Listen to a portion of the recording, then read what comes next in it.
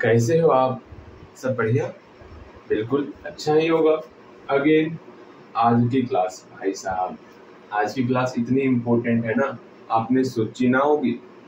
चाहे कोई सा भी हमारे या आपके कोई प्रिय शिक्षक होंगे ना, जो इस चैप्टर को मतलब जो क्लास टेंथ का एग्ज़ाम दे दिए होंगे, या आपके बड़े भैया कोई भी होंगे ना, उनसे आप पूछोगे हाँ भैया हाँ मुझे हमको ये बताइए ये जो क्वेश्चन है prove that root three is irrational क्या ये क्वेश्चन भैया इम्पोर्टेंट है? इसको कंप्लीट करें या नहीं करें? उनका बस एक ही कहना होगा। अरे ये क्वेश्चन ये क्वेश्चन तो काफ़ी बार, लगभग हर बार हमारे एग्ज़ाम में पूछा ही गया है। कुछ करो या ना करो, आप इस क्वेश्चन को ज़रूर क्लियर कर लेना चाहे आप किसी से भी सलाह लोगे, उनका यही कहना होगा। ज़रूर, ये क्वेश्चन हर बार आपके एग्ज़ाम में आता है। अब मैं क्या ही कहूँ? इसको अगर नहीं सीखोगे ना तो हो गया। मतलब आउट है ये क्वेश्चन कि आपका एग्ज़ाम में क्वेश्चन आएगा ही आएगा। बस आपके ऊपर ये है कि आपको किस प्रकार इस क्वेश्चन को सीखना है। भले ही यहाँ रूट तीन के जगह पर रूट पाँच दे दे रूट सात दे दे रूट दो दे दे, वो एग्जामिनर का, लेकिन रूल सेम रहेगा सब में ओके उसके बाद हम लोग ढेर सारे क्वेश्चन करने वाले हैं। और ये जो है रेशनल नंबर का हम लोग का लास्ट क्लास होने वाला है। तो कोई नहीं, आप बस मेहनत करो, ठीक है? चलो जी। अब यहाँ ध्यान दोगे। यार रेशनल नंबर बोल रहे हैं। रियल नंबर है ना? अरे हाँ हाँ रियल नंबर चलो, ध्यान से समझना है आपको। अगेन फ़र्स्ट ऑफ़ ऑल इसको समझने से पहले आपको एक वर्ड समझना होगा। हम लोग पढ़े हुए हैं को प्राइम्स भैया, ये को प्राइम्स की बात करते हैं ना? कहाँ पढ़ा है आपको को प्राइम्स हमको नहीं पढ़ाए को प्राइम्स हमको भैया, आप पढ़ाए हैं प्राइम्स हाँ जी प्राइम नंबर पढ़ाए थे ना? बिल्कुल। अगेन आपको कंपोजिट नंबर पढ़ाए थे। भैया कंपोजिट नंबर तो पढ़ाए ही थे हमको। साथ ही साथ को प्राइम्स नहीं पढ़ाए थे। अच्छा नहीं पढ़ाए थे? कोई नहीं। अब पढ़ लेंगे। इसमें कौन सी समस्या है? फ़र्स्ट ऑफ़ ऑल प्राइम्स में हम लोग क्या पढ़े थे? जैसे कि एग्ज़ाम्पल ही मैं पहले देता हूँ आपको, फिर आपको बताना है कैसे आप पहचानोगे ये प्राइम्स है। जैसे हम लोग पढ़े थे प्राइम नंबर के एग्ज़ाम्पल में दो था, तीन था, पाँच था, सात था, ये सारा नंबर हमारा प्राइम नंबर हुआ करता है। अगेन कंपोजिट नंबर की बात करें तो इसमें आपका फोर था सिक्स था एट था नाइन था, ये सब नंबर जो है, हम लोग का कंपोजिट नंबर इस नंबर को कहते थे। अगेन को प्राइम नंबर की बात करेंगे। तो इसमें युग्म रहेगा मतलब पेयर रहेगा। कोई दो ऐसा आपको नंबर लेना है, कोई भी दो ऐसा नंबर आपको लेना है, जिसका सिर्फ़ और सिर्फ़ एक ही कॉमन फैक्टर हो वन उसके अलावा कोई भी कॉमन फैक्टर नहीं हो। जैसे कि हम लोग कोई सा भी दो ले लो, हम लोग दो ले ली और तीन ले चलिए, इस दोनों का फैक्टर निकालो भैया जी, दो का फैक्टर निकालते और तीन का फैक्टर निकालते तो दो किसके किसके पहाड़े में आवत है? तो एक के पहाड़े में और दो के पहाड़े में। तीन किसके किसके पहाड़े में आवत है? भैया, एक के पहाड़े में और तीन के पहाड़े में। दोनों में कॉमन फैक्टर ये हम लोग फैक्टर निकाले हुए दोनों में कॉमन फैक्टर क्या दिख रहा है आपको? भैया, हम का ये दिखत है, वन दिखत है। अच्छा जी, आपको जो है वन दिख रहा है दोनों में कॉमन बिल्कुल सही। अर्थात सिर्फ़ और सिर्फ़ जो कॉमन फैक्टर होगा, ध्यान से समझना को प्राइम्स उसी को कहेंगे, जिसका कॉमन फैक्टर जो है, सिर्फ़ और सिर्फ़ वन रहेगा। इसके अलावा कोई भी मेरा कॉमन फैक्टर नहीं रहेगा। जब भी इसमें आएगा, बस आपको ये ध्यान में रखना है, ऐसा कोई भी नंबर आप दो नंबर ले लो। मान लो कोई दो नंबर है टू थ्री है ना, आप अपने मन से ए और डी मान लो पी और क्यू मान लो, कोई सा दो नंबर मान लो। तो कोई सा दो नंबर अगर हम लोग पी और क्यू ले रहे हैं तो पी और क्यू के पास have not any common factor other than one भैया जी, ये क्या ही लिख दिए? यहाँ पर हम लोग लिखे हैं कि पी और क्यू के पास कोई भी कॉमन फैक्टर नहीं है। सिर्फ़ और सिर्फ़ एक को छोड़ करके अदर देन वन मतलब वन को छोड़ करके इसके पास कोई भी कॉमन फैक्टर नहीं होगा, बस इसी चीज़ को यहाँ पर लिख लीजिए। और यही चीज़ आपको ध्यान में रखना है कि हाँ ये चीज़ हमको आवत है। जब हम लोग आपको ये समझाएँगे ना, वहाँ पर ये सबसे बड़ा मतलब ये आपका वहाँ पर वहाँ के वहाँ के लिए आपका ये इम्पोर्टेंस रखेगा। बिकॉज़ यही आपका प्रूफ करेगा रूट तीन इज़ इरेशनल नंबर ठीक है? अब यहाँ ध्यान दो।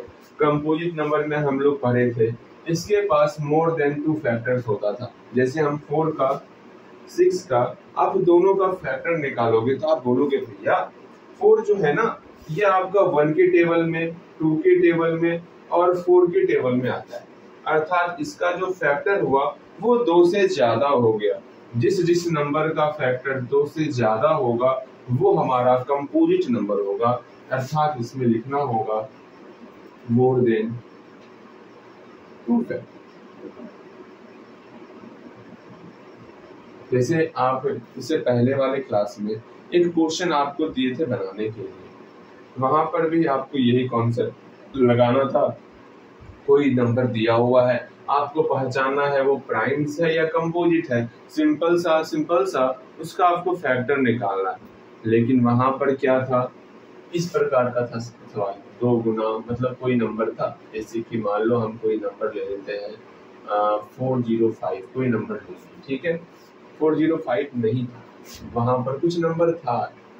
हमको याद नहीं है ठीक से, लेकिन कुछ ऐसा नंबर था। हम लोग नौ सौ दस ले लेते अब ये बताना है नाइन वन ज़ीरो, ये आपका प्राइम है या कंपोजिट है? आप तो ये जान रहे हो भैया, कंपोजिट मतलब दो से ज़्यादा फैक्टर होगा। प्राइम मतलब सिर्फ़ और सिर्फ़ दो फैक्टर होगा।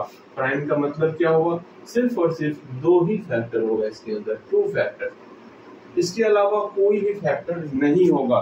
तब आप बोलोगे भैया, नाइन वन ज़ीरो को हमको बताना है ये प्राइम होगा या फिर कंपोजिट होगा? दोनों में कौन सा नंबर है?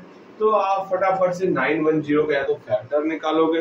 फैक्टर निकालने मैंने सिखाया हुआ है ना। हाँ भैया, आप फैक्टर निकालने सिखाए हुए हैं कि वन के पहाड़े में नाइन वन ज़ीरो टाइम्स में जो है, नाइन वन ज़ीरो आता और किसके पहाड़े में आता? भैया टू के पहाड़े में आता। टू के पहाड़े में कितने बार में आता है? तो फोर सीखे हो आप? ठीक है? इससे डिवाइड करो। टू से नाइन वन ज़ीरो में डिवाइड करो। तो कितना होगा? ये आप करोगे। तो फोर हो गया फाइव हो गया, फिर फाइव हो गया। ठीक है? अगेन अगेन अगेन क्या ये तीन से डिवाइड होगा? नहीं होगा भैया जी। फोर से डिवाइड होगा? बिल्कुल फोर से डिवाइड नहीं होगा। फाइव से डिवाइड होगा? हाँ जी। ये आपका फाइव से डिवाइड होगा। अब यहाँ पर आप फाइव से डिवाइड करोगे। तो देखते हैं रिज़ल्ट कितना आता है। Five again eight two one eight two आ गया। बिल्कुल। चार नौ।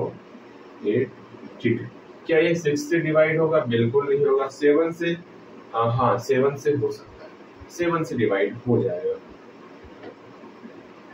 ये सेवन से डिवाइड हो गया। कितने टाइम्स में हुआ? वन थ्री ज़ीरो क्या ये एट इस तरह आपको सोचना पड़ेगा कौन कौन सा नंबर से डिवाइड हो रहा। वहाँ पर तो आप परेशान हो जाओगे। अगर इससे ज़्यादा नंबर आ गया तो कितना फैक्टराइजेशन निकालो मतलब कितना सबका फैक्टर निकालोगे? तो वहाँ पर मैं एक तरीका बताता हूँ, उसी तरीके से बनाओगे तो आपके लिए आसान हो जाएगा। ऐसे बनाओगे तो समस्याएँ हो जाएगी, भैया सबका फैक्टर निकालना। वैसे हमें स्पष्ट तौर पर दिख रहा है, अगर नाइन वन ज़ीरो का फैक्टर निकाल रहे हैं तो दो से ज़्यादा फैक्टर हो रहा है। यहाँ स्पष्ट रूप से भैया दिख ही रहा है, अर्थात नाइन वन ज़ीरो तुम्हारा कंपोजिट नंबर ही है, वरना ऐसे कर सकते हो एंड सो ऑन लिख सकते हो। इसके अलावा और भी इसका फैक्टर होगा। एंड सो ऑन लिख दिए, फिर यहाँ लिखेंगे, चूँकि it is composite number composite number because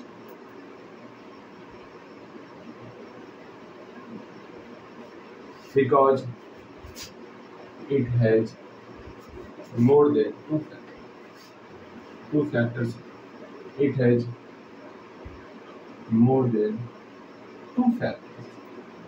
कहीं कोई समस्या तो बोलना भैया, ये कैसे हुआ? यहाँ पर क्यों लिखे? किस प्रकार लिखे? या तो इस प्रकार बनाओ।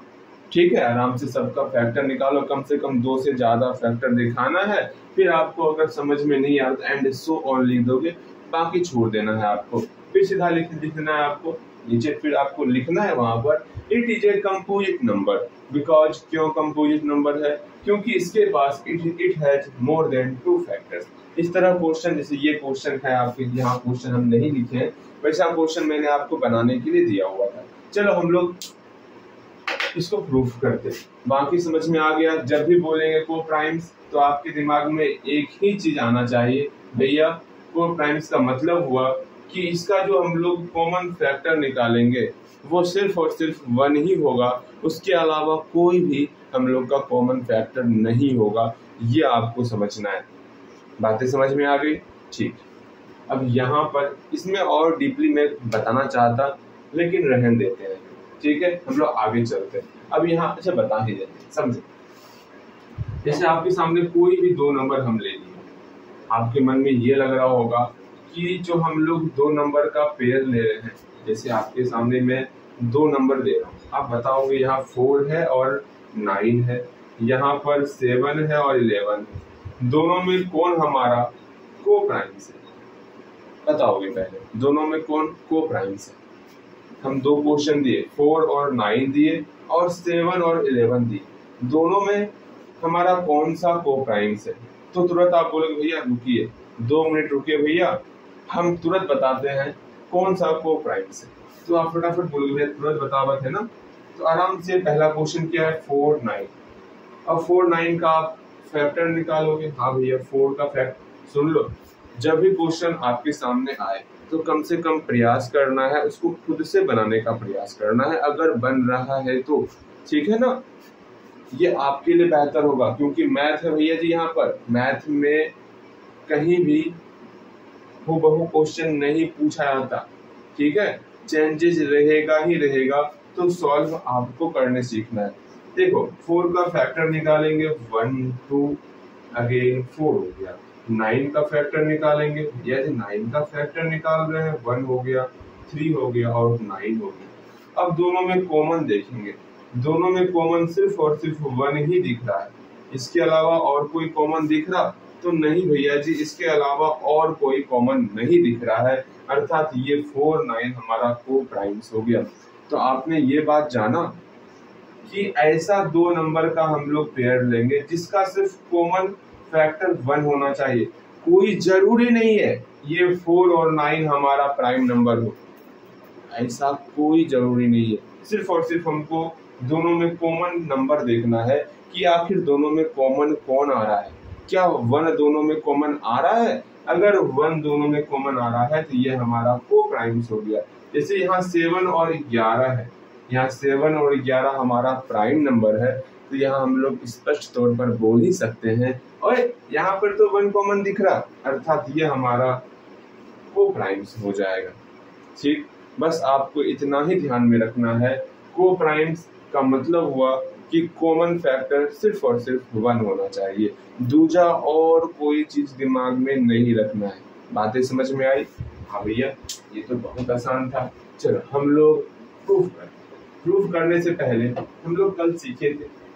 क्या सीखे थे? कोई भी हमारा। हाँ भैया, कोई भी हमारा। अगर रेशनल नंबर होगा, उसका मतलब क्या होगा कोई भैया रेशनल नंबर होगा ना? आप हमको कल सिखाए थे कि इसको हम लोग पी बटे क्यू के रूप में लिख सकते हैं, जहाँ पर Q does not equal to zero और पी और क्यू बोलिए, दोनों इंटीजर्स होगा। कुछ याद आ रहा है? ये याद क्या आना हम तो ढेर सारे सवाल बना है इस पर। ये सब तो हमारे मुख पे आ गया है। यहाँ ध्यान फ़र्स्ट ऑफ़ ऑल हम लोग को यहाँ बोला गया proof that root three is irrational इससे पहले वाली क्लास में हम लोग इरेशनल वाला, जैसे कि टू प्लस रूट थ्री इसको किस प्रकार से हम लोग इरेशनल प्रूफ करते थे, उन सबको प्रूफ कर लिए थे। अगर वो चीज़ समझ में आ गया था तो ये क्लास आपके लिए हलवा होने वाला। अर्थात, इसमें भी हम लोग सेम वही काम करेंगे। जैसे इसमें हम लोग क्या करते थे, इसको हम लोग मान लेते थे और आप रेशनल हो, ऐसा मानते थे। सेम यहाँ पर भी इसको मान लेंगे। क्या कर रहे हो आप? चलो, हम आपको रेशनल मान रहे हैं। उसको हम लोग रेशनल मानेंगे। सेम पिछले क्लास की तरह। अगर पिछला क्लास समझ में तनिक नहीं आया है तो पूछना। ऐसा नहीं भैया नहीं पूछेंगे। वो काम नहीं करना है। यहाँ देखो। फटाफट से पहला नंबर सॉल्यूशन देखोगे आप ठीक है हम लोग मान लेते let root three is rational आज थोड़ा सा लिखने में समस्या हो रहा बिकॉज़ अंगूठे में चोट लगा हुआ है। ठीक है तो इस कारण तनिक समस्या होगा, हल्का अक्षर भी खराब होगा और थोड़ा धीरे धीरे भी लिखना है। ठीक, कोशिश करते हैं, लेकिन आज क्लास कंप्लीट करना है, चाहे चोट लगे या कुछ भी हो, लेकिन क्लास आज आपका कंप्लीट होएगा। देखो यहाँ पर, हम लोग मान लेते हैं रूट थ्री क्या है? Is irrational number root three को हम इरेशनल नंबर मान लें। जैसा कि हम लोग पिछले क्लास में देखे थे कोई भी इरेशनल नंबर होता है उसको हम लोग पी बटे क्यू के रूप में लिख सकते हैं। तो यहाँ पर रूट थ्री को हम लोग पी बटे क्यू के रूप में लिख सकते हैं। जहाँ पर ये क्यू जो है does not equal to zero Q हमार ज़ीरो के बराबर ना हो। आगे और एक चीज़ पी और क्यू हमारा इंटीजर्स होगा। याद पारो, मैं बार बार कह रहा, पिछला क्लास याद पारो। अगर तनिक भी समस्या है तो पूछो, तब आगे चलना है ओके ये पी और क्यू हमारा जो है इंटीजर्स होगा। यहाँ लिखो P and Q are integers और एक चीज़ और इसमें मानना होगा। यहाँ तक तो पिछले क्लास में भी हम लोग देखे थे। इसमें एक चीज़ और मानना होगा। हम लोग ये मान के चलेंगे कि P और Q का सिर्फ़ और सिर्फ़ एक ही कॉमन फैक्टर है, जो कि वन है। उसके अलावा कोई भी कॉमन फैक्टर ना है इसका। ठीक है? सिर्फ़ वन कॉमन फैक्टर है इसका तो यहाँ लिखोगे, जो चीज़ हम लोग वहाँ पर भी लिखे थे P and Q have P and Q have not any common factor इसके पास कोई भी कॉमन फैक्टर नहीं है। इसके अलावा अदर देन वन एक के अलावा। सिर्फ़ एक ही इसका कॉमन फैक्टर होगा, ये बातें अच्छे से समझना है आपको। सिर्फ़ वन ही इसका कॉमन फैक्टर होगा, उसके अलावा और कोई कॉमन फैक्टर ना है। बस ये तीन बातें आपको समझनी है। हम लोग यहाँ पर तीन स्टेटमेंट जो आपके सामने रखे हैं, तीनों अगर अच्छे ढंग से समझ में आ गया होगा, तब हम लोग आगे बढ़े। सब कुछ समझ में आ गया? हाँ भैया, सब कुछ समझ में आ गया अगेन, इसका हम लोग स्क्वायर करने वाले हैं। स्क्वायर समझते हो ना? भैया, यहाँ पर तीन है, इसका स्क्वायर कीजिए, तीन का स्क्वायर कर दिए। हाँ जी तो यहाँ देखो, स्क्वायरिंग बोथ साइड। दोनों तरफ़ हम लोग जो है स्क्वायर करेंगे। करते हैं, देखते हैं कितना रिज़ल्ट होगा। रूट थ्री का स्क्वायर कर दिए, इधर है आपका पी बटे क्यू, पी बटे क्यू का स्क्वायर कर दिए। हाँ जी, अब देखते हैं रिज़ल्ट क्या आवत है। देखो, यहाँ पर तीन इक्वल टू पी बटे क्यू का पी स्क्वायर बटे क्यू स्क्वायर आ गया बताओ कहीं कोई समस्या? जल्दी बोलो, कहीं कोई समस्या है तो पूछना है। ना भैया, कहीं कोई समस्या ना है। अब आराम से कोना कोनी गुना करेंगे। यहाँ वन छिपा हुआ है। क्यू स्क्वायर का गुना थ्री के साथ। तो थ्री क्यू स्क्वायर हो गया। और पी स्क्वायर का गुना वन के साथ तो पी स्क्वायर हो गया। ये सबसे इम्पोर्टेंट इक्वेशन आ चुका है। ठीक है? अब यहाँ पर हम लोग कुछ लैंग्वेज लिखने वाले हैं, जो अभी ना लिखेंगे, अंतिम में लिखेंगे। ठीक? अंतिम में लिखेंगे उस लैंग्वेज को। लेकिन समझना है, सिर्फ़ समझ लो लैंग्वेज अंतिम में लिखे। अब यहाँ देखो, ये इक्वेशन चीख चीख के बोल रहा है, ओए हाँ तीन को जब इधर भेजोगे ना, इस तीन को जो हम इधर भेजेंगे, वो पी स्क्वायर को पूरा पूरा डिवाइड करेगा। इसका मतलब समझ रहे इक्वेशन का मतलब? तीन को आप इधर भेजो। तो भैया क्यू स्क्वायर अकेला पड़ जाएगा। और ये तीन जो है, जा करके पी स्क्वायर को डिवाइड करने वाला। मतलब तीन जो है पी स्क्वायर को पूरा पूरा भाग लगा रहा है। अच्छा जब तीन मेरा पी स्क्वायर को पूरा पूरा भाग लगाता, यहाँ ये स्पष्ट है, ऐसा कोई भी नंबर ले लो, ऐसा आप कोई भी नंबर ले लो, जैसे हम लोग हम लोग लेते हैं थ्री स्क्वायर क्या थ्री स्क्वायर को तीन पूरा पूरा डिवाइड करेगा? भैया सीआईडी वाला काम करते हैं रुकिए भैया देखते हैं क्या सही में ये बात सही है कि नहीं है? तीन स्क्वायर का मतलब हो गया भैया नाइन नाइन को तीन पूरा पूरा डिवाइड करेगा भैया। जब ये कंडीशन आ जाए ना, किसी का स्क्वायर को कोई नंबर डिवाइड कर रहा है तो यहाँ पर स्पष्ट है कि तीन को भी स्क्वायर हटा देंगे ना, उसको भी जो है ये तीन पूरा पूरा डिवाइड करेगी। बस ये समझना है। अर्थात यहाँ पर अगर पी स्क्वायर को तीन डिवाइड कर रहा है यहाँ स्पष्ट है कि पी को भी तीन हमारा डिवाइड करने वाला।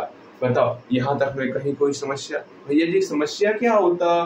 कुछ ना समस्या है। अर्थात ये बातें मैं एक क्वेश्चन पूछ रहा आपसे। ठीक क्वेश्चन मैं पूछ रहा हूँ।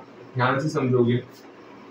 अगर अगर अगर दो को, दो से चार डिवाइड हो रहा है तो आपको बताना है, क्या दो चार स्क्वायर को डिवाइड करने वाला है? क्या ये डिवाइड करेगा? तो आप बोलोगे, भैया, अगर दो से चार में पूरा पूरा भाग लग रहा है तो इसके स्क्वायर में भी दो से पूरा पूरा भाग लगेगा। ये सिखाए हैं श्री श्री एक सौ आठ भैया जी महाराज। ये हमें सिखा दिए बहुत अच्छे। सिखा दिए हाँ? जी, सिखा दिए इसका रिज़ल्ट कैसे हुआ? अब आप तो हो। भैया प्रूफ चाहिए। प्रूफ के अलावा यहाँ कोई बात ना। चलता भैया, पहले प्रूफ दीजिए। प्रूफ क्या देना? फोर का स्क्वायर करोगे, सिक्सटीन हो जाएगा। आराम से आप दो से डिवाइड करोगे, ये पूरा पूरा इसको भाग करेगा। समझ रहे हो? ये इसका मतलब रिवर्स भी सेम आपका फंडा चलता। लेकिन आपको इसको बेहतर तरीके से समझना है। अगर यहाँ पर पी स्क्वायर को तीन पूरा पूरा डिवाइड कर रहा है, इसका मतलब क्या हुआ? समझो। हम लोग हम लोग जो यहाँ लैंग्वेज छोड़े हैं लैंग्वेज में लिखना क्या है? पहला चीज़ लिखना है कि पी स्क्वायर को जो है ना, ये तीन पूरा पूरा डिवाइड कर रहा है। ये लिख देंगे। इसका मतलब क्या हुआ कि पी को भी तीन पूरा पूरा डिवाइड करेगा। हाँ ये बातें समझ में आ गया? हाँ जी। अब इसी को लेके हम लोग आगे बढ़े। अगर मान लो तीन पी को पूरा पूरा डिवाइड कर दिया, ठीक है? समझना ध्यानपूर्वक हम क्या कह रहे हैं? जो हम कह रहे हैं उसको समझना है। अगर तीन पी को पूरा पूरा डिवाइड कर दिया, तीन जो है पी को पूरा पूरा डिवाइड कर रहा है पूरा पूरा खत्म कर रहा है, यहाँ से फल ज़ीरो आ रहा है तो भागफल कुछ ना कुछ तो निकलेगा, कुछ भी निकलेगा। भैया जी, हमें कब पता चलेगा क्या निकलेगा? हाँ हमें तो पी पता ही नहीं है क्या है। जब नहीं पता है तो यहाँ पर भी कुछ भी निकलेगा के लिख लेते। भैया, तीन से पी में भाग देंगे तो के रिज़ल्ट होगा। यहाँ तक समझ में आया? हाँ ये बात है भैया जी। हाँ जी, यही बात है। अर्थात पी का वैल्यू आप पी की पी बराबर क्या लिख सकते हैं? भैया, आप सिखाए थे इस दोनों को मल्टीप्लाई करके इसको जोड़ देना होता है, तब मेरा पी का वैल्यू निकलता। अर्थात dividend equal to divisor multiply question plus reminder अर्थात इस दोनों को मल्टीप्लाई करेंगे पी इक्वल टू मेरा थ्री के हो गया। कुछ सीखे हो या ना सीखे हो। रैंड अभी बस इतना समझना है कि हम लोग पी का वैल्यू जो है थ्री के लेने वाले बस इतना समझना और कुछ ना समझना बातें समझ में आ गई? हाँ भैया, बातें समझ में आ गई। ज़्यादा हमें कुछ सोचना नहीं है। या हम स्पष्ट तौर पर ये हमको चीख चीख के बोल रहा है कि तीन से पी में डिवाइड होएगा। हाँ जी, जिससे पी का वैल्यू निकल गया थ्री के, ठीक? थ्री के निकल गया पी का वैल्यू अगर फिर भी समझ में ना आ रहा है तो पूछना है। फिर यहाँ से बनाना स्टार्ट करेंगे। In equation first in equation first ठीक है? बी सीधा लिखो put P equal to three p का मान थ्री के पुट कर रहे हैं। कहाँ पर? इन इक्वेशन फ़र्स्ट में पुट कर रहे हैं। यहाँ पर p का मान थ्री के पुट कर रहे हैं। अभी लैंग्वेज बाद में लिखेंगे, यहाँ देखो। अब इक्वेशन फ़र्स्ट में जहाँ p दिख रहा है आपको, वहाँ पर आप थ्री के पुट कर रहे अच्छा भैया, पहले क्वेश्चन तो उतार लें। अरे क्वेश्चन कौन उतारता? उतारो क्वेश्चन उतार लिए। अब जहाँ जहाँ आपको p दिख रहा है ना, वहाँ पर आप थ्री के पुट ओके भैया, लिखिए। पुट कर दिया। Three Q square equal to तीन नौ के स्क्वायर अब जो कट रहा है, उसको कटाओ। तीन से नौ कटेगा। तीन तिया नौ कट गया भैया जी। यहाँ मेरा इक्वेशन आ गया Q square equal to three के स्क्वायर नीचे दिख रहा है ना आपको? हाँ दिख रहा है। अब अधिक नीचे नहीं दिख रहा। तो यहाँ तक अगर समझ गए हो तो हम लोग आधी बाजी जीत चुके हैं। कहीं कोई समस्या ना है। हाँ जी, चलो। अब इस इक्वेशन को लेके चलते हैं। अब हम लोग क्या करेंगे? इसको उलट दो या फिर ऐसे ही रहने दो। थ्री के स्क्वायर को इधर लेते हैं। थ्री के square equal to Q square यहाँ तक बताओ, यहाँ तक में कहीं कोई समस्या बता। ये ऊपर अलग है। यहाँ तक में कहीं, पहले यहाँ तक अपने मन से आ जाए उसके बाद हम लोग आगे बात करें। हम लोग का क्वेश्चन बन गया। सिर्फ़ अब सिर्फ़ अब लैंग्वेज लिखना है, हम लोग का क्वेश्चन क्लियर है। इतना समझ के चलो क्वेश्चन क्लियर है। सिर्फ़ और सिर्फ़ हम लोग को लैंग्वेज लिखना है कुछ नहीं। अब क्या करना है आपको? पहले यहाँ से लेके यहाँ तक, अपने मन से। हाँ जी, अपने मन से मैं कह रहा हूँ। यहाँ से लेके यहाँ तक एक बार अच्छे ढंग से देख लो, समझ में नहीं आया। फिर से आप मतलब वीडियो को पीछे करके एक बार फिर से यहाँ से यहाँ तक देख लो। फिर यहाँ से यहाँ तक एक बार अपने मन से आपको आना है। और जल्दी से आओ। आ गए हो गए? हाँ भैया, कब से हम लोग यहाँ पहुँच चुके हैं? आप आगे पढ़ाइए ना। अच्छा जी, यहाँ देखो आप। अब यहाँ पर, जैसे यहाँ पर हमको स्पष्ट तौर पर दिख रहा था कि ये तीन जो है पी स्क्वायर को डिवाइड कर रहा है तो यहाँ पर भी स्पष्ट तौर पर दिख रहा है कि ये तीन जो है, देख लो, अगर मैं कह रहा हूँ ना कि यहाँ से लेके यहाँ तक अपने मन से बनाना है तो इसको इग्नोर ना करना, ध्यान से चलना। मेरी बातों को अगर साथ में लेके चलोगे ना, समस्याएँ कभी नहीं आएँगी। इसको समझ के चलना। जहाँ पर आप मेरी बातों को रहन देते हैं ना इस तरह कर सोचोगे मन में तो वहाँ समस्या तुरंत आ जाएँगी। भैया समस्या हूँ मैं, ठीक है? ऐसा होगा आपके साथ। इसलिए मैं कह रहा कि अपने मन से यहाँ तक पहुंचो तो पहुँचना है आपको। अब देखो यहाँ पर। जैसे हम लोग यहाँ पर देखे थे कि पी स्क्वायर को तीन डिवाइड कर रहा था, उसी तरह यहाँ पर बोलेंगे क्यू स्क्वायर को जो है तीन डिवाइड कर रहा है है ना? इस तीन को उधर भेजेंगे तो क्या होगा? क्यू स्क्वायर को तीन भाग कर देगा। हाँ भैया क्यू स्क्वायर को तीन भाग कर दिया। इसका मतलब क्या हुआ? कि क्यू को भी तीन पूरा पूरा खत्म करेगा। अच्छा भैया क्यू को भी तीन पूरा पूरा खत्म कर दिया? हाँ जी। अब यहाँ से एक चीज़ स्पष्ट हो क्या? हम लोग बोले थे, समझिएगा। अब यहाँ पर सिर्फ़ समझने का है और कुछ नहीं। हम लोग स्टार्टिंग में माने थे। क्या माने थे? कि ये P और Q किस प्रकार का बंदा है? भैया, ये P और Q इस प्रकार का बंदा है। इसका जो कॉमन फैक्टर होगा इसका जो कॉमन फैक्टर होगा, वो सिर्फ़ और सिर्फ़ वन होने वाला, ये हम लोग स्टार्टिंग में माने थे। कॉमन फैक्टर का मतलब क्या होगा? P और Q किसके किसके पहाड़े में आता भैया जी, P और Q, मेरा वन के पहाड़े में आएगा, P के पहाड़े में आएगा, Q भी आपका वन के पहाड़े और Q के पहाड़े में आएगा। हाँ जी, लेकिन यहाँ हम लोग स्पष्ट तौर पर दिखा दिए पी में तीन से पूरा पूरा भाग लगता है। अर्थात पी जो है तीन के पहाड़े में भी आएगा। ये दिखा, यहाँ से दिखा रहे देखा ना? पी में तीन से पूरा पूरा भाग लग रहा है। अर्थात पी जो है तीन के पहाड़े में आएगा। पी तीन के पहाड़े में आएगा। अच्छा भैया, यहाँ भी स्पष्ट तौर पर हम लोग दिखा रहे हैं। यहाँ देखो, स्पष्ट तौर पर हम लोग यहाँ दिखा रहे हैं कि Q भी तीन के पहाड़े में आ रहा है। अर्थात Q भी तीन के पहाड़े में आ रहा है। मतलब ये दोनों आपस में बोल रहा है, ओए हाँ P और Q का सिर्फ़ और सिर्फ़ कॉमन फैक्टर तो वन ही है ना, आज इतिहास बदलते P का जो है एक और कॉमन फैक्टर क्यू का जो एक और फैक्टर तीन हुआ, दोनों का जब फैक्टर तीन हो गया, ये आपको बोल रहा है कि भैया पी का तीन जो है पी का फैक्टर है three is a factor of P तीन का फैक्टर क्या है? बोलोगे तीन किसका फैक्टर है? पी का फैक्टर है तीन। अच्छा जी। तो यहाँ ये स्पष्ट बोल रहा है कि तीन किसका फैक्टर है? ये तीन जो है मेरा फैक्टर है क्यू का।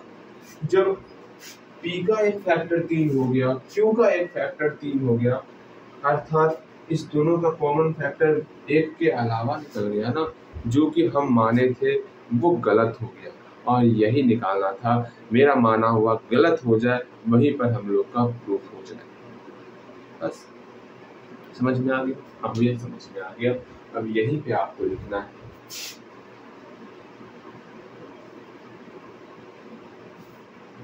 क्या लिखना है?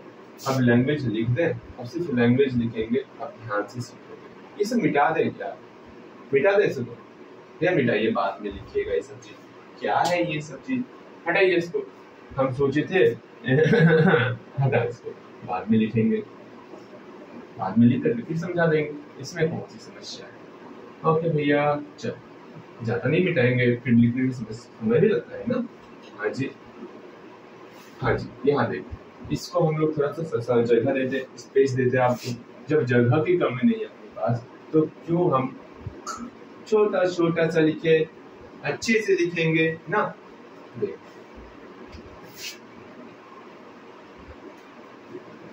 हाँ। यहाँ क्या था? क्यू स्क्वायर थ्री के square equal to two square ये स्पष्ट तौर पे क्या बोल रहा था आपको? कि भैया थ्री से जो है क्यू स्क्वायर में डिवाइड लगेगा, अर्थात थ्री से जो है क्यू में डिवाइड लग रहा है। यहाँ पर ये समझ में आ गया। हाँ जी। अब पहले इसका लैंग्वेज लिख लेते, उसके बाद आगे बढ़ते। चलो, इसका लैंग्वेज लिखो तो। इसको लैंग्वेज में क्या कहोगे? आप बोलोगे P square is divisible by three बोलोगे, इसको क्या बोलोगे? Therefore P is also divisible by three simple सा। अभी इसको नहीं बोलोगे तो समझ में कैसे आएगा आपको? ये बहुत आसान है। अब देखो। अब यहाँ पर हम लोग लैंग्वेज लिख रहे हैं, ध्यान से समझोगे।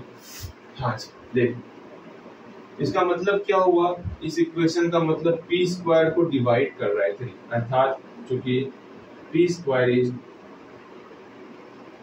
divisible by 3 therefore, p is also divisible by 3 बस यही लिखना था भैया, इसके लिए क्यों आप इतना परेशान किए हमको? देयरफॉर अर्थात तीन से पी में पूरा पूरा भाग लग रहा है। अर्थात three is a factor of P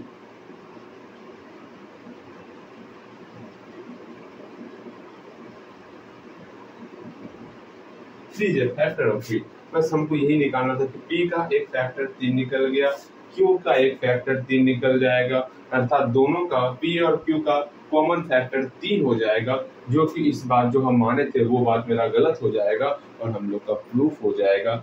समझ में आ गया कैसे प्रूफ करना है? हाँ भैया, समझ में आ गया। अब यहाँ पर भी आपको सेम वही करना है आपको। क्या करोगे? क्योंकि Q square is divisible by three Q square is divisible by 3 and therefore q is also divisible by 3 हाँ भैया, जब q स्क्वायर को तीन पूरा पूरा भाग लगा रहा है तो q को भी तीन पूरा पूरा भाग लगाएगा। इससे क्या स्पष्ट हो गया कि थ्री जो है, वो q का फैक्टर है। तो three is a factor of Q यहाँ तक में क्लियर हाँ भैया। तो हम लोग बोल सकते हैं here P and Q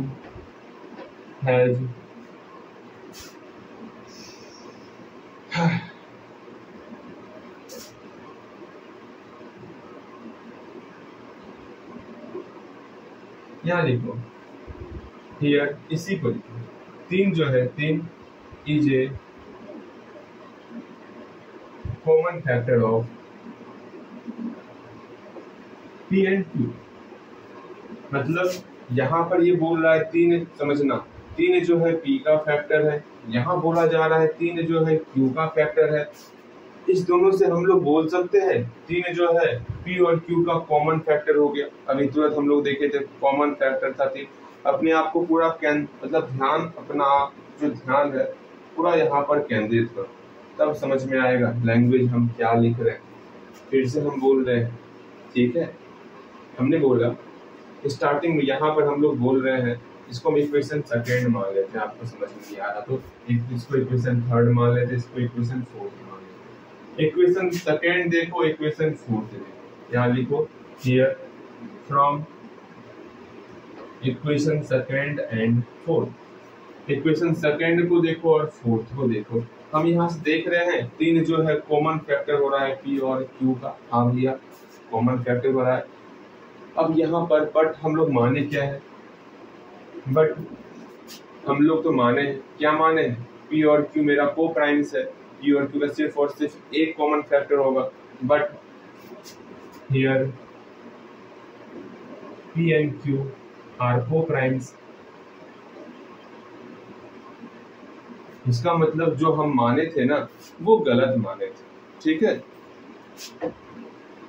here comes contradiction contradiction समझ रहे हो? ये कॉन्ट्राडिक्शन एक ऐसा वर्ड है, इसका मतलब ही होता है कि जो हम लोग स्टार्टिंग में माने हैं ना, वो अंत में गलत माने हैं। उसके लिए एक वर्ड लाया गया कॉन्ट्राडिक्शन अगर आपको देना है, दे सकते हो। वरना डायरेक्ट यहाँ पर बोल सकते हो आवर एजप्शन इज़ रॉन्ग ये भी बोल सकते हो, ये आपकी इच्छा है। हम लिख देते हैं। ठीक हियर कम्स यहाँ पर विरोधाभास होता है।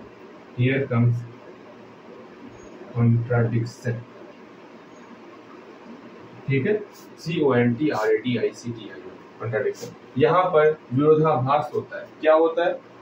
यही कि हम लोग जो माने थे, वो यहाँ पर मतलब हम लोग माने थे पी और क्यू को को प्राइम्स लेकिन निकल रहा है पी और क्यू क्या? को प्राइम्स हो ही नहीं था। इसका एक और कॉमन फैक्टर तीन हो रहा है, अर्थात यहाँ पर कॉन्ट्राडिक्शन आ रहा है। ठीक है? ये हम लोग बोल सकते therefore our our assumption is wrong okay हमारा मानना गलत। बस यही हो गया। अतः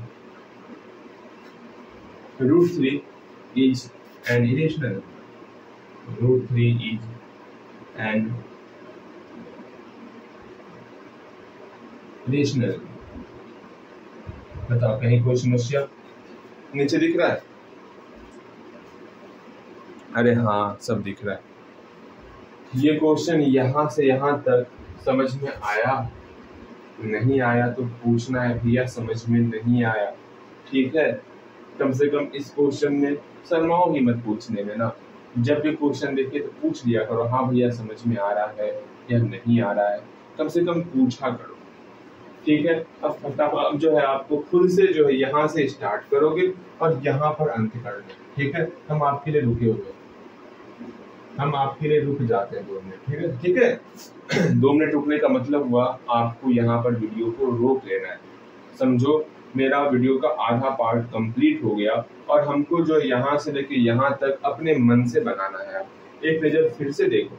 देख लो, हम उन्हीं क्वेश्चन में आपको खुद से बनाने के लिए कहते हैं, जो क्वेश्चन हमें लगता है बेहद इम्पोर्टेंट अगर मैं कह रहा हूँ ना कि यहाँ पर खुद से स्टार्टिंग से लेके अंतिम तक आओ तो कम से कम, अरे समय लगेगा, अधिक से अधिक समय लगेगा। और जहाँ पर समय लगाने पर अच्छा रिज़ल्ट आ जाए हाँ जी, ये एग्ज़ाम में आ ही जाएगा तो वहाँ पर अपना समय एक्सपेंड कर दो, ठीक है? जल्दी से यहाँ से लेके यहाँ तक खुद से बनाओगे। हाँ हमें लग रहा है आपको थोड़ा लैंग्वेज लिखने में समस्याएँ होंगी तो कोई बात नहीं, समस्याएँ क्या ही होना है। ये तो आराम से लिख लोगे कि P square divisible by three इसलिए पी भी जो है डिवाइड करेगा पी को भी डिवाइड करेगा थ्री आराम से यहाँ दिख रहा है कि तीन जो है पी को डिवाइड कर रहा है, अर्थात तीन जो है पी का फैक्टर है। इसी तरह यहाँ पर भी तीन जो है क्यू का फैक्टर निकल जाएगा, अर्थात तीन जो है पी और क्यू का कॉमन फैक्टर निकल गया। जब कॉमन फैक्टर निकल गया, लेकिन हम लोग बोले थे, माने थे हियर यहाँ पर जो है पी और क्यू को प्राइम्स था, अर्थात जो हम माने वो तो नहीं हुआ ना। अर्थात यहाँ पर कॉन्ट्राडिक्शन हो गया। यहाँ पर मेरे जो हम माने थे, उसका विरोधाभास हो गया। कॉन्ट्राडिक्शन मतलब विरोधाभास होता है हिंदी। अर्थात हियर कम्स कॉन्ट्राडिक्शन यहाँ पर विरोधाभास हो रहा है। हाँ जी therefore our assumption is wrong जो हम माने थे, वो गलत हो गया। अर्थात यहाँ पर रूट थ्री हमारा इरेशनल नंबर है। और परिमेय संख्या है। ठीक है? चलो, हम आगे चलते हैं। मेरे ख्याल से समझ में आ गया होगा। अब जो है आपका होमवर्क रहेगा इस रूट थ्री की जगह पर रूट फाइव का रूट सेवन का रूट टू का, इस ये तीनों आप बना के लाओगे। देख लो, मैं तीनों चेक करने वाला हूँ। ठीक है? ऐसा नहीं भैया, हमें जल्दी से जल्दी कंप्लीट करना है कि नहीं बनाएँगे। वो बनाना है आपको। ओके चल, इसको मिटा रहे हैं। अब इस क्वेश्चन की तरफ़ आएँगे। आज तो आपका जितना आज बताना है, मैं सारा बता दूँगा ओके बस आपको समझना है। अब यहाँ तक कंप्लीट हो जाए ना तो जाओ हल्का पानी वानी पी लो, ठीक? घूम फिर लो। अगेन हम लोग आगे चलेंगे।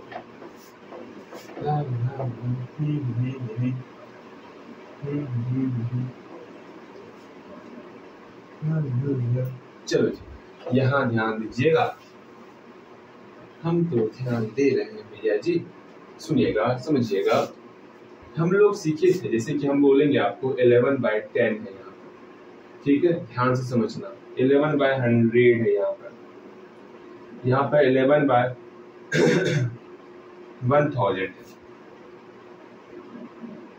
इस फ्रैक्शन में डेसिमल प्लेस कितना होगा? बता भैया जी, पता है एक बार डेसिमल प्लेस कैसे निकालते हैं? हम डिवाइड की तरफ़ देखते हैं। जितना वन में ज़ीरो लगा होगा उतना ही डेसिमल प्लेस होता।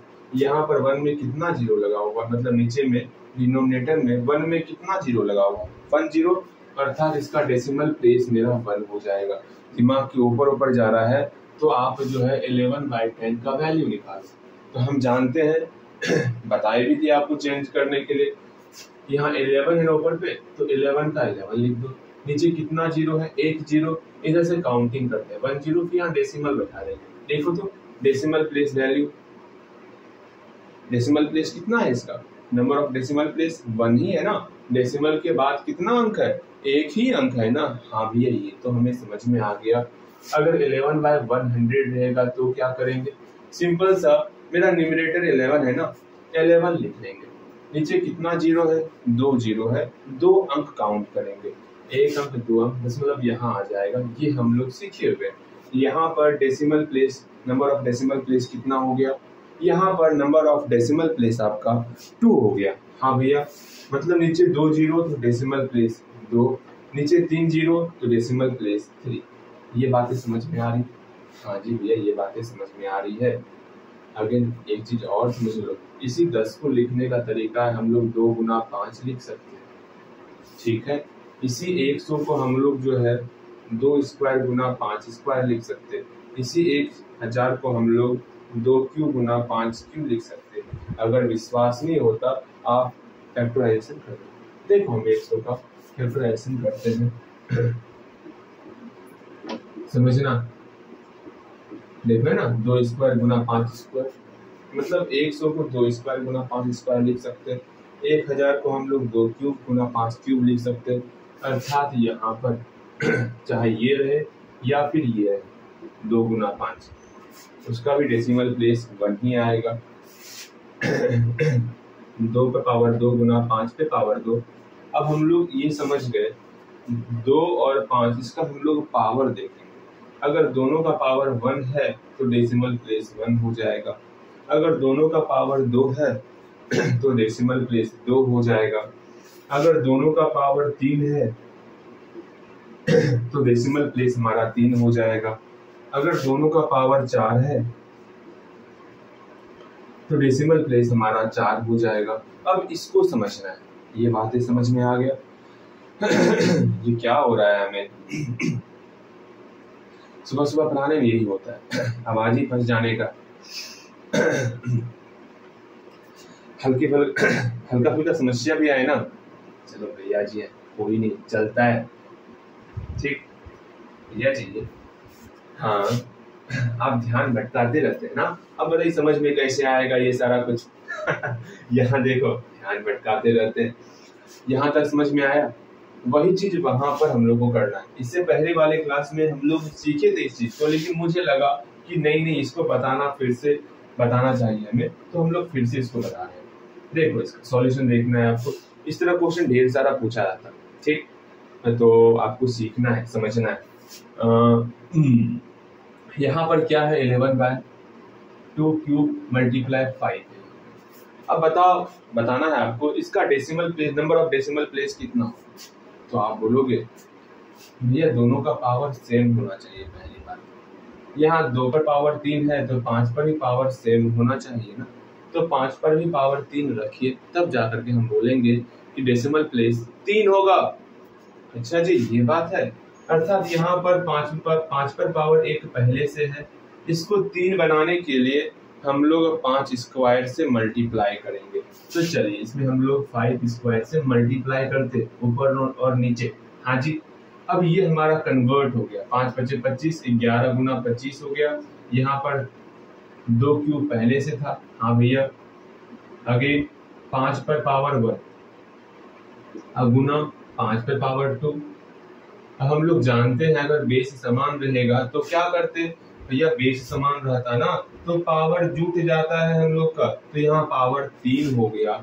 अर्थात ऊपर मल्टीप्लाई कर ग्यारह गुना पच्चीस, पाँच। पाँच दो सात, दो। दो सौ पचहत्तर हो जाए। कैसे भैया निकाल लिए? ग्यारह से मल्टीप्लीकेशन का ट्रिक होता है। मैं सिखा दूँगा। यहाँ ध्यान दो। अब यहाँ पे नंबर ऑफ़ डेसिमल प्लेस कितना निकल निकल, लगता है पानी पीना पड़ेगा। तो here number of decimal place कितना हो गया? तीन हो गया, बस यही करना है। और क्या ही करना बताओ, कहीं कोई समस्या? नहीं, बोलो नहीं समस्या भैया जी। अब हम लोग कुछ और क्वेश्चन आपके क्वेश्चन बैंक से लिखेंगे, उसको बनाएँगे, समझेंगे, जानेंगे और ढेर सारे क्वेश्चन करेंगे। ठीक? अब इतना लंबा चौड़ा क्वेश्चन ये सब शॉर्ट शॉर्ट क्वेश्चन है। अब अपने अंदर हिम्मत जगह आज जो है इस चैप्टर को क्लियर करना है तो करना है। कोई भी क्वेश्चन नहीं छोड़ेंगे हम लोग। ठीक है? हाँ जी, चलो। यहाँ देखोगे आप। ठीक है? बारी बारी से कुछ और क्वेश्चन लिखे हैं हम लोग। याद नहीं है चलो रहने देते फ़र्स्ट ऑफ़ ऑल ये क्वेश्चन एक और 2018 में पूछा गया था। सेम यही क्वेश्चन ये खुद से बनाओगे दो नंबर क्वेश्चन आप बताओगे, इसका नंबर ऑफ़ डेसिमल प्लेस कितना होने वाला है? ये खुद बताओगे, और ये मैं नहीं बताने वाला। अब सोचोगे यहाँ पे फोर है, यहाँ थ्री इस फाइव को थ्री में कन्वर्ट करोगे। बता दो, बिल्कुल नहीं बताऊँगा। ये आपको खुद से बनाना है। ये खुद से बनाओगे, नहीं बनेगा तो मैं बताऊँगा ओके अगेन हम लोग जो है रूट का वैल्यू निकालने सीखे थे। क्यों निकालने सीखे थे? बिकॉज़ उसके बीच में रेशनल नंबर क्या है, उसको लिखने के लिए रेशनल नंबर क्या है, उसको लिखने के लिए। पहले आप खुद बताओगे कि भैया हाँ सुनिए ना। यहाँ पर 4.10 है, यहाँ पर 4.1 4.4 यहाँ 4.1 इसके बीच में हमको जो है रेशनल नंबर तो आप तुरंत बोलोगे, भैया, इसके बीच में रेशनल नंबर लिखना? हाँ जी रेशनल नंबर लिखना है। तो क्या होगा भैया रेशनल नंबर सिंपल सा। वैसे भी ये क्वेश्चन आपको ऑब्जेक्टिव में पूछा जाता सिर्फ़ और सिर्फ़ एक नंबर के लिए। तो अच्छे ढंग से समझोगे। तो यहाँ आप बोलोगे, भैया फोर फोर है ठीक है। वन और यहाँ फोर वन और फोर के बीच में क्या आता? भैया वन और फोर के बीच में टू आता थ्री आता। आप दो, या तो टू लिखो, या तो थ्री लिखो, ये आपकी इच्छा। तो रेशनल नंबर क्या होगा? फोर पॉइंट वन और फोर के बीच में टू और थ्री आया ना? या तो टू लिख दो, या तो थ्री लिख दो। वो आप पर डिपेंड करता है, आप क्या लिखोगे। ये आपका रेशनल नंबर हो गया। बस यही काम था। बस एक आपको रेशनल नंबर लिखना था। रेशनल नंबर क्या होगा? रेशनल नंबर अब रेशनल नंबर का एक ट्रिक बता रहे जो रेशनल नंबर लिखोगे, जैसे 4.3 लिखे हो ना डेसिमल के बाद की मैं बात बता रहा हूँ। डेसिमल से पहले ये मत अप्लाई करना। डेसिमल के बाद 4.3 के बाद क्या करोगे? थ्री लगाओगे, फिर एक ज़ीरो, फिर थ्री, फिर दो ज़ीरो, फिर थ्री, फिर तीन ज़ीरो, फिर थ्री। इस तरह करोगे, ये हमारा इरेशनल नंबर हो जाएगा। अच्छा लगा? थ्री था, एक ज़ीरो लगाएँगे, फिर से थ्री ले देंगे फिर डबल ज़ीरो, फिर थ्री। मतलब ऐसा क्यों कर रहे हैं? कहीं पर रिपीट ना हो जाए। इसलिए ऐसा हम लोग नियम अप्लाई कर बातें समझ में आई? किस प्रकार रेशनल नंबर लिखते किस प्रकार इरेशनल नंबर लिखते। हाँ भैया, ये समझ में आ गया एक और क्वेश्चन दे रहे हैं, आप खुद से बनाओगे उसको। यहाँ पर रहेगा, अब चेंज करना ठीक है? आपको लिखना है, जैसे कि 2.06 और 2.03 अब इसके बीच आपको रेशनल नंबर लिखना है। तो तुरंत आप बोलोगे, भैया, दो सेम है ज़ीरो सेम है छ और तीन के बीच में क्या आता? चार आता, पाँच आता, दो चीज़ आता, आपकी इच्छा आपको क्या लिखना है? भैया ठीक है। तो दो दो तो सेम था, दो लिख डेसिमल का डेसिमल हो गया। ज़ीरो सेम था ज़ीरो का ज़ीरो लिख लिए। अब छ और तीन के बीच में क्या आएगा भैया? छ और तीन के बीच में? आप या तो चार लिखो, या तो पाँच लिखो। यहाँ पर या तो चार लिखो, या तो पाँच। वो आप पर डिपेंड करता है। समझ में आ रहा? हाँ भैया, समझ में आ रहा। अब आराम से रेशनल नंबर लिखना है। हमने सिखाया था।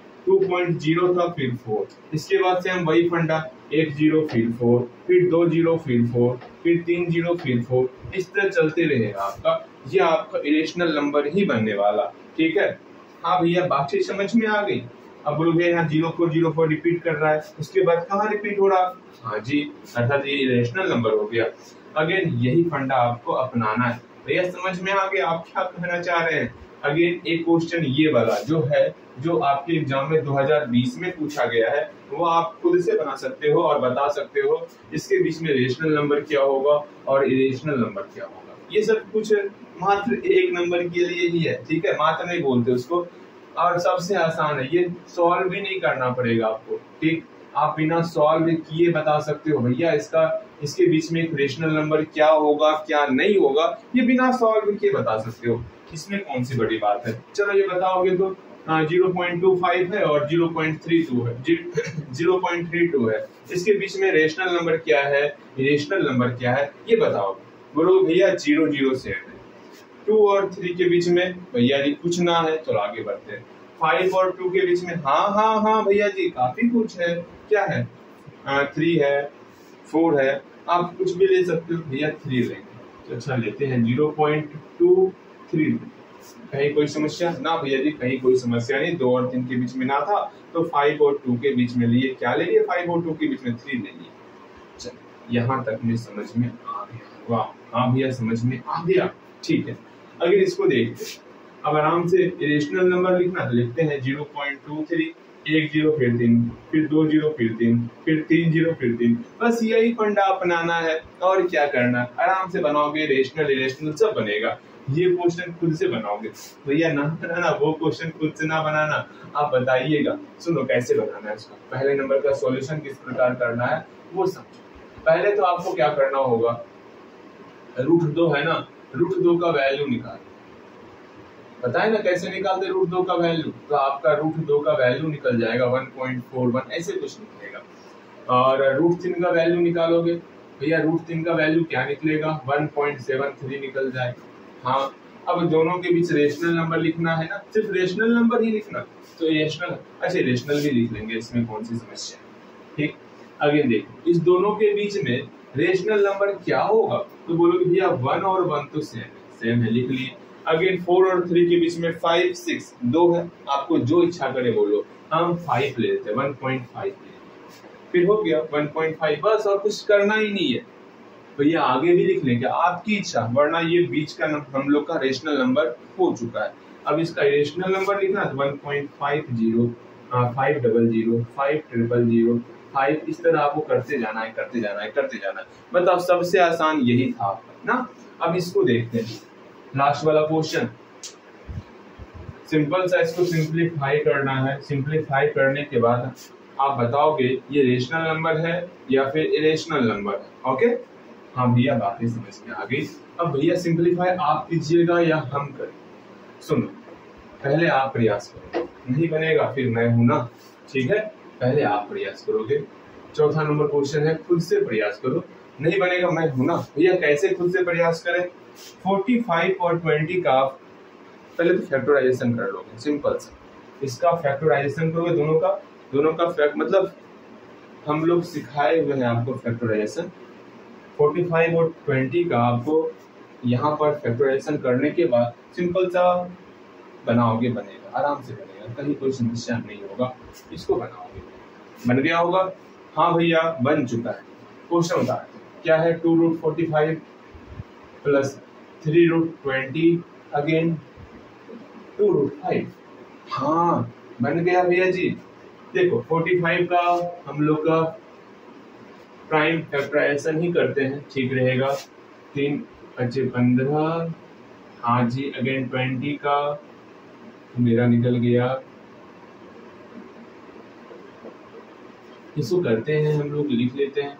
फोर्टी फाइव की जगह पे हम लोग लिख सकते तीन गुना तीन गुना पाँच। और प्लस ट्वेंटी की जगह पर लिख सकते हैं हम लोग। क्या लिखेंगे? दो गुना दो गुना पाँच। इस प्रकार हम लोग स्क्वायर रूट को सॉल्व करने सीखे थे। या कहाँ सिखाए थे? आप तो सिर्फ़ डिविजन मतलब डिविजिबल मेथड सिखाया बाकी कहाँ सिखाया अच्छा जी, देखो यहाँ पर इसको कैसे सॉल्व करते हैं? रूट के अंदर जो चीज़ दो बार लिखा रहेगा, टू टाइम्स रहेगा, सिंपल सा इसको पकड़ के एक बार बाहर निकाल लेना। यहाँ पर किसका किसका पेयर बन रहा? इसका पेयर बन रहा इसका पेयर बन रहा है? जिसका जिसका पेयर बन रहा है, उसके बदले में एक बार ही वो नंबर लिखने वाले ओके यहाँ पर टू पहले से था, जिसका पेयर बनेगा, उसके बदले में एक संख्या बाहर निकालना है। यहाँ पर तीन को हम लोग बाहर निकाल देंगे। पाँच का पेयर नहीं बना तो पाँच को रूट के अंदर ही लिखेंगे। सेम वही चीज़ यहाँ पर दो का पेयर बन रहा है तो दो को बाहर निकालेंगे। बाकी को रूट के अंदर ही लिखेंगे ओके अब आराम से टू रूट फाइव है टू रूट फाइव दिया अब यहाँ सिंपल सा six root five plus six root five अरे दोनों सेम ही निकल गया। चलो, कोई बात नहीं, कोई बात नहीं, कोई बात नहीं। टू रूट फाइव अब छह रूट फाइव छह रूट फाइव आराम से जोड़ सकते। हाँ भैया, क्या ही होगा? आराम से बोलिए। तो देखो ना, अरे, समझे हो? छह आम प्लस छह आम कितना होता है? बारह आम होता। वही सिंपल फंडा। छह रूट फाइव प्लस छह रूट फाइव कितना होगा? बारह रूट फाइव होगा। ये पूछने वाली बात है, नहीं ना? अब root five root five cancel ये तभी करना है जब मेरा मल्टीप्लाई के फॉर्म में रहेगा। ऐसा नहीं कि हाँ बारह प्लस रूट फाइव है और टू प्लस रूट फाइव है। आराम से कटा देना, गलत हो जाएगा। जब बीच में मेरा मल्टीप्लाई का फॉर्म रहेगा, तभी हम लोग ये करेंगे। बीच में मल्टीप्लाई छिपा हुआ है। टू सिक्स ट्वेल्व अर्थात मेरा सिक्स हो गया। ये सिक्स कौन सा नंबर है? रेशनल है या इरेशनल है, आप बताओगे? या ये हमारा रेशनल नंबर है। रेशनल नंबर का क्या पहचान होता है? जिसको हम पी बटे क्यू के रूप में लिखे Q does not equal to zero हो और पी और क्यू हमारा इंटीजर्स हो तो उसको हम लोग रेशनल नंबर कहते सिंपल सा लिखोगे इट इज़ रेशनल नंबर ठीक है? इट इज़ रेशनल नंबर बताओ, कहीं कोई समस्या? ये समस्या क्या होता? वो तो छुट्टी पे चले गया है समस्या कब से? चलो, हम लोग कुछ और क्वेश्चन देखते हैं। ना? कुछ और क्वेश्चन देखेंगे। सुनो, अब सिर्फ़ एक टॉपिक बचा हुआ है, इसको सीख ही लेते हैं, ठीक है? समय भी तो पूरा है। समझने वाला? अच्छा कोई बात नहीं। पहले इसको सीख लेते हैं, आज सीख ही लेते हैं इसको। हल्का लेट होगा, चलेगा। यहाँ ध्यान दोगे आप सेवन बाय सेवेंटी फाइव है ना? हाँ जी भैया सेवन बाय सेवेंटी फाइव है। यहाँ क्वेश्चन बोला गया है, ध्यान से पहले क्वेश्चन को समझना। ये बोला गया, ये टर्मिनेट है या फिर नॉन टर्मिनेट है?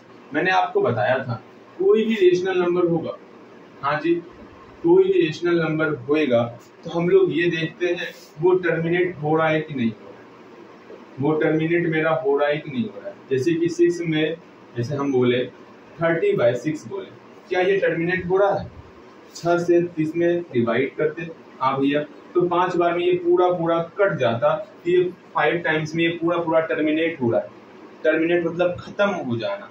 कितने टाइम्स में? फाइव टाइम्स में खत्म हो रहा है। तो रेशनल नंबर या तो टर्मिनेट होगा, या तो नन टर्मिनेट होगा, जो कि डेसिमल के फॉर्म में निकलेगा। हाँ भैया नन टर्मिनेट नन टर्मिनेट अब ये बताओगे, ये मेरा टर्मिनेट है या फिर नन टर्मिनेट है? तो तुरंत आप बोलोगे, भैया, इसका पता हम लोग भाग दे करके ही निकाल सकते ना? अगर पूरा पूरा भाग लग जाएगा, ये कोई ज़रूरी नहीं है। जैसे हम बोलेंगे वन बाय टू भाग लगाओ। आराम से दो से एक में भाग लगाओगे ज़ीरो पॉइंट फाइव हो जाएगा। हाँ ज़ीरो पॉइंट फाइव हो रहा है ना, ये टर्मिनेट हो रहा है। चाहे डेसिमल के फॉर्म में कटे या जैसे भी कटे लेकिन कटना चाहिए। पूरा पूरा टर्म जो है ज़ीरो आना चाहिए, ठीक है? तो पचहत्तर से सेवन में हम डिवाइड करेंगे। अगर पूरा पूरा कट गया तो टर्मिनेट अगर पूरा पूरा नहीं कटा तो नन टर्मिनेट ये तो हो गया बच्चा वाला मेथड लेकिन यहाँ पर वो मेथड आपको नहीं लगाना है। सिंपल से हम लोग सेवेंटी फाइव क्या करेंगे? फ्रेम फ्रेम पर। प्राइम फैक्टराइजेशन करेंगे, ठीक है? भैया जी, तीन दूनी मुझे पंद्रह। देखो, यहाँ ध्यान देंगे। सेवन का निकल गया। Three multiply five multiply five हाँ भैया, इसको पावर के रूप में लिख लेते। Three multiply five square power के रूप में लिख लिए। क्या यहाँ पर दो गुना पाँच के पावर के रूप में है? अगर दो गुना पाँच के पावर के रूप में होगा तो ये हमारा टर्मिनेट करेगा। तो भैया ना, यहाँ पर तीन एक्स्ट्रा आ गया। सुन लो। एक नोट डाल के कहीं पर लिख लो। यहाँ पर मेरा क्या क्या आना चाहिए जो टर्मिनेट करेगा? या तो दो के पावर के रूप में आना चाहिए, या तो पाँच के पावर के रूप में आना चाहिए, या फिर दोनों के गुना के पावर के रूप में आना चाहिए तो हमारा जो है ये हमारा टर्मिनेट करता है। तो यहाँ पर तीन एक्स्ट्रा टर्म आ गया तो ये मेरा टर्मिनेट नहीं करेगा, ये हमारा नन टर्मिनेट होगा। It is a non terminating decimal हो गया। समझ में आ गया होगा। It's a non terminating decimal आराम से लिख सकते हो, कहीं कोई दिक्कत नहीं। इट्स ए नॉन टर्मिनेटिंग बस डेसिमल लिखना कोई कहीं कोई समस्या? ये मेरा नॉन टर्मिनेटिंग इस कैटेगरी में आ एक और एक चीज़ सिखाना था, सीख ही लो। भैया जी, सिखाने के लिए काफ़ी कुछ है ना, आज। हम लोग ये सीखे थे, याद पारो। हम्म,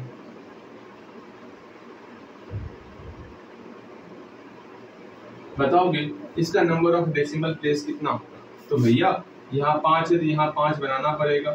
तो हम लोग दोनों में पाँच पावर तीन से मल्टीप्लाई करेंगे। अच्छा बहुत अच्छी बात। अगर मान लो यहाँ पर पावर पाँच होता अब बताओगे इसका नंबर ऑफ़ डेसिमल प्लेस कितना होगा? भैया इसका number of decimal place five हो जाएगा। ये तो आपको पता है नंबर ऑफ़ डेसिमल प्लेस किस प्रकार निकालते हैं। हाँ भैया, ये तो हमें पता है।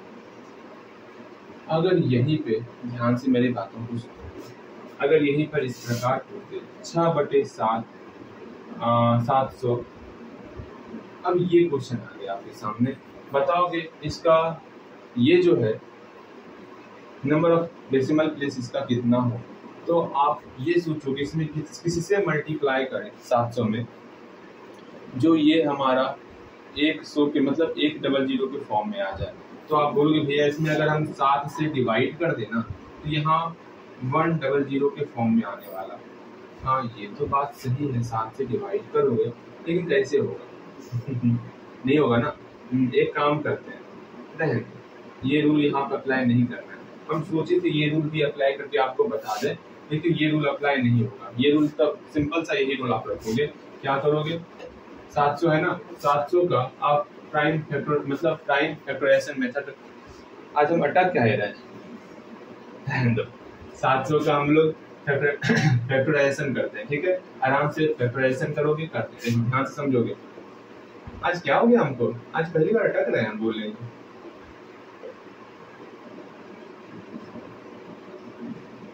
पाँच से भाग लगेगा। पाँच से पंद्रह, पाँच पच्चीस पच्चीस। पाँच से पैंतीस। दो गुना पाँच के रूप में तो यहाँ एक्स्ट्रा सात आ गया ना? हाँ भैया सात एक्स्ट्रा आ गया, अर्थात इसका हम लोग नंबर ऑफ़ डेसिमल प्लेस नहीं बता सकते हैं बिकॉज़ ये हमारा नन टर्मिनेटिंग ठीक है? सिंपल सा एक फंडा में सिखा रहा हूँ, चाहे जो भी नंबर रहेगा, इसका आप पे इसका आप जो है प्राइम फैक्टराइजेशन करोगे, और आराम से जो है हम लोग ये बता सकते हैं कौन टर्मिनेटिंग है, कौन नन टर्मिनेट कौन नन टर्मिनेटिंग है। अगर जो मेरा टर्मिनेटिंग होगा आराम से उसका हम लोग डेसिमल प्लेस भी बता सकते हैं, इसके पावर को देख करके ओके चलो, यही तक आज क्लास रखते बाकी हम लोग अगले क्लास से पॉलिनोमियल्स पढ़ेंगे, ठीक है? चलो।